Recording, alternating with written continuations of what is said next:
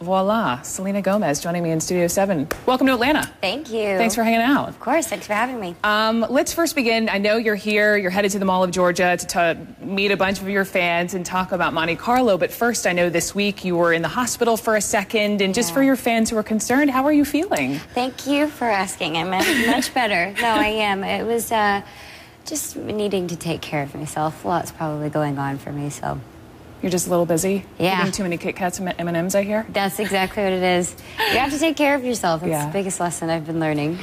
Monte Carlo, we're going to play a clip in a minute, but I want you to just set up, explain what the movie's about and your char- characters. Yes, I play two characters. Monte Carlo is it's kind of like a romantic comedy. It's really sweet. It's about um, it's about three girls that travel to Europe in hopes to find a better life, and ultimately at the end they realize that their lives is is basically the best fairy tale any girl could have. So Shall we watch? Yes, go Let's ahead. watch. Four years of pep rallies, imagining myself walking along the Seine and standing on top of the Eiffel Tower. Do you mind if we order? Grace, go with Meg and Emma. Have a great trip. Paris. Nobody pinched me. The Junior Ambassador Suite offers luxury. How long did you get to stay and film in Paris? Uh, well, actually, we shot um, seven, no, six weeks in Hungary. Hungary? So yeah, and it kind of looked like Paris. So we were cheating a little bit, but we did shoot in Paris for like four days. Pretty good British accent. Did it take you a while to work on that? Uh, a little bit, yeah. It took about two weeks, and I'm still not really that confident in it. Like I said, you're here um, part of this whole mall tour, right? So you go to the mall once you leave here and you see your fans there, and once you hop on your Twitter page, you have like five million plus, you know, fans there. You're constantly out. You're constantly in front of people. You were born in '92, so you're familiar with the internet. You've always had internet and cell phones and being connected. Selena, is there any point in time where you just put that phone down and want to be just, just disconnected? Every day, every single day, I'd like that. I, I think it's crazy. I love that I'm able to connect with my fans. I do think that Twitter and Facebook's really um, wonderful to be instant with your fans, but it's a scary thing. Internet is really scary for me, so I, I kind of um, wish I could disconnect every day from it. When do you? You have to have moments when you just have time to yourself. I do, yes. I, I will send a Twitter. Like, well, obviously, I'm excited about Monte Carlo coming out, so I'm talking about it a lot. Um, but other than that, I do. I, I take those moments to just be by myself.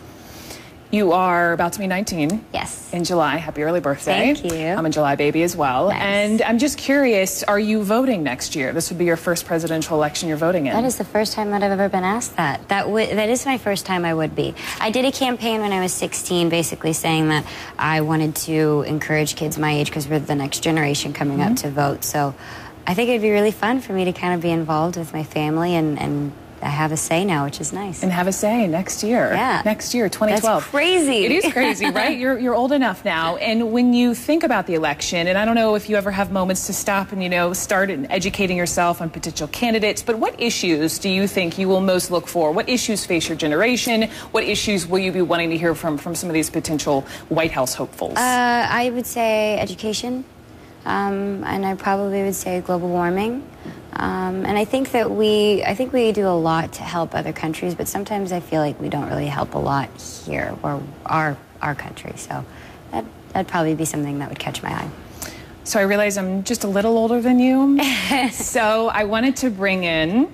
Um, we wanted to get inside the mindset of one of your fans, and so you? this is? Ava Daughters. She is the daughter of one of our most senior writers, and so Ava, this is your chance. What is your question for Selena? Well, I was wondering, why are you moving away from Disney Channel? Um, well, for me, I am about to be 19. So it's kind of um, a transition phase, I guess you could say. I'm getting older, so it's kind of like graduating high school. I still have a very close relationship with Disney Channel, but I want to make really fun movies like Monte Carlo and stuff for my other fans to see too. Is that okay? Do we, do we accept that answer? Is or do that you want to okay? press her a little I more? accept it. Oh, good. good. Final question to you, and then I know you have to go because your plan, your, your day is stacked. But how is it that you're able to maintain this, um, you know, lovely persona? A lot of other gals have gone different paths, um, different directions, and you really seem to, you know, have it together. For someone who's being pulled in so many different directions, and you're dating some guy all of us have heard of. I mean, it's a, you have a lot going on. How do you maintain? How do you maintain that balance? Um, I think that I have to surround myself with really good people, or I would probably go crazy. I'm 18, I'm going to make mistakes, and I'm going to learn from my mistakes and become who I'm supposed to be, but that's my business. I really don't think that it should involve my fans or involve my connection with them. So I try to be the best I can be for my fans and continue to be happy.